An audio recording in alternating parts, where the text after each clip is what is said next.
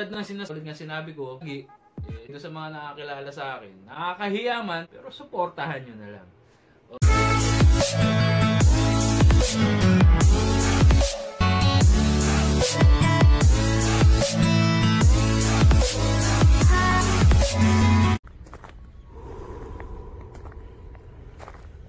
Nagbigay galang sila rito. So ito yung pinakang temple nila.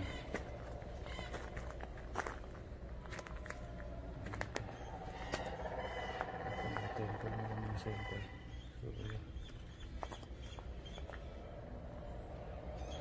So siguro hindi rin tayo magtatagal dito mga senpai. Ay no.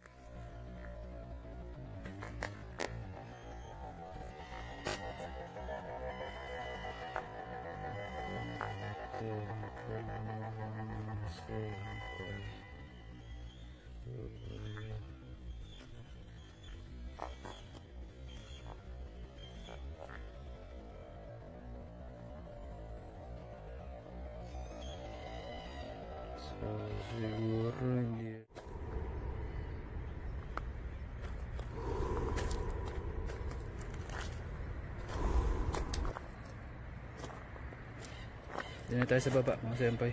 Ayoko na rito sa taas.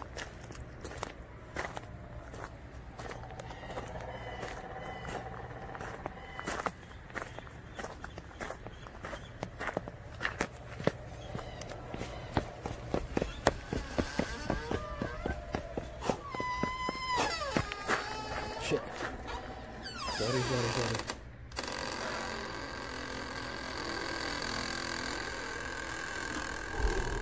Sorry po, sorry. Ano yung anong balahibo ko sa mukha. Hindi na po mauulit, sorry. So, dito na tayo bumaba sa kabila. So, ayun mga senpai, nandito na tayo sa last part ng ano natin.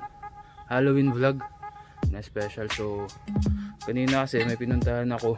Yung sana yung una nating iba, yung sana yung iba-vlog ko ngayon. Kaya lang, iba yung kutob ko eh. Nasa taas na ako, nag-start na ako ng mag-shoot. So, iba yung pakiramdam ko doon sa lugar na yun. Kaya hindi ko na lang tinuloy. Pero ito kasi, na-scout na natin to nung nakaraan. Nagpunta na ako rito. So, nakita ko naman na okay din siya puntahan. Tapos, accessible lang din sa tao. Kasi mahirap doon sa isang pinuntahan ko kanina. Ano, akyatin yun, mataas. So, baka mamaya kung ano mangyari sa atin, eh, hindi na tayo matagpuan. So, yun. Ah, mag-play safe na lang tayo rito sa pupunta natin na to pero maganda rin naman to eh. Hindi ko pa na-pictures to kahit sa una kong vlog. So ayun. Ito yun, ito yung lugar yun. So ayun, maraming salamat sa mga sumuporta at sa mga dagdag na suporta mula sa iba't ibang pamilya dyan. So ayun, gawin na natin itong mga senpai. So tara na, start na tayo.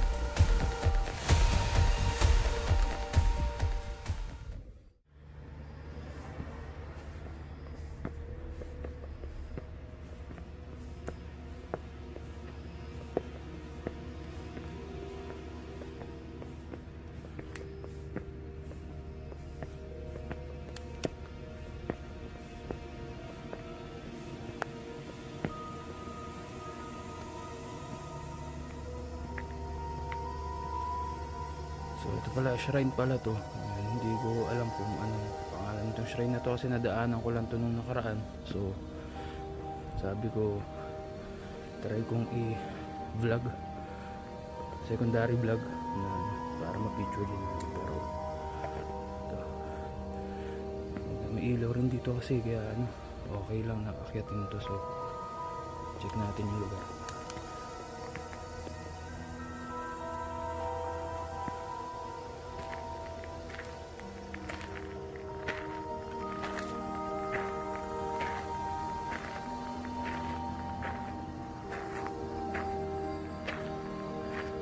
gulat ako dun sa dragon. So, yun. Ito yung well nila. Traditional way nila. Before sila po mag ano dito sa shrine. So, yun. Ikot-ikot naman ito. Yung kalahatan nito. So, meron pa rito. Hindi natin alam kung saan papunta yun. Abandonadong bahay. Marami dito mga heritage house. Hindi natin alam kung anong meron. So ito.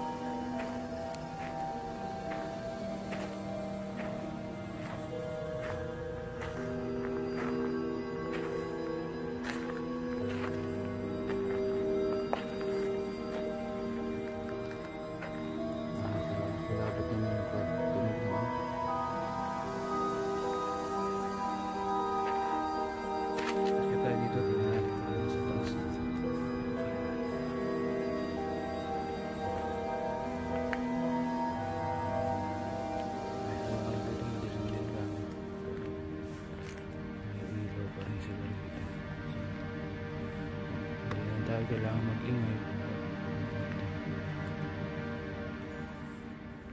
Usok. Tabi-tabi po.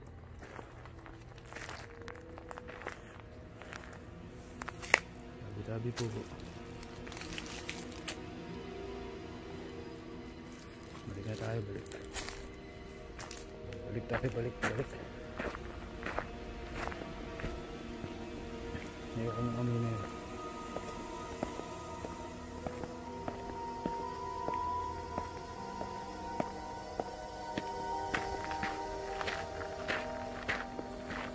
I don't like that feeling. So, alam ko anong meron dyan sa puno na yan.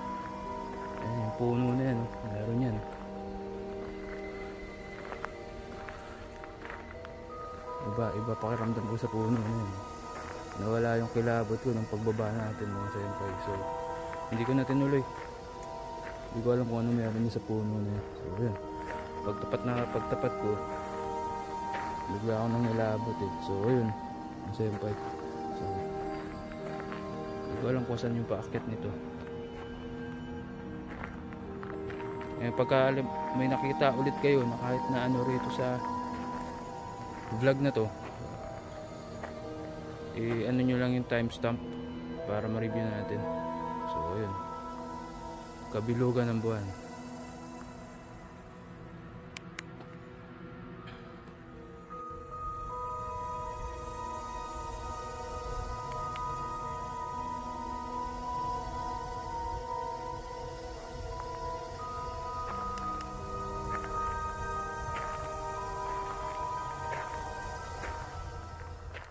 So, ayun mga senpai, naakyat na natin. So, medyo meron din ako hindi naramdaman doon sa malaking puno na nadaanan natin kanina. So, papasukin ko pa sana. So, kaya lang iba, iba yung pakiramdam ko doon sa puno. Na, tapos meron pa siyang ibang amoy. Kung maano niyo yung amoy na parang usok, nakakaibang usok na hindi, hindi ko masabi kung anong usok yun.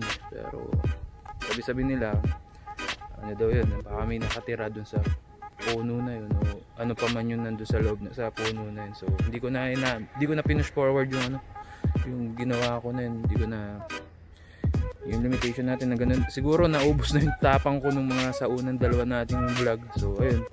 Um, maraming maraming salamat sa mga patuloy na sumuporta and then sa mga nanood sa mga ano natin sa vlog natin na Halloween special. So tulad ng ah, sinabi ko nung una na magiging ano tayo agresibo tayo sa paggawa ng vlog ngayon. So yun. Maraming maraming salamat sa mga sumuporta. So shoutout nga pala dun sa ano kay Sayla sa Team Kabote and then dito kay ano Dark Lucifer na nagpapa-shoutout din. So yun. Mga bro tsaka dito sa pamilya ko sa mag-ina ko kay Mariel kay Yui tsaka kay Blitz. May aircon na kayo dyan. So ano yun. Relax lang kayo. So maraming maraming salamat sa ito. Tulad nga ng lagi kong sinasabi mga nakakilala sa akin nakakayaman so supportahan nyo na lang. So yun mga senpai maraming salamat and God bless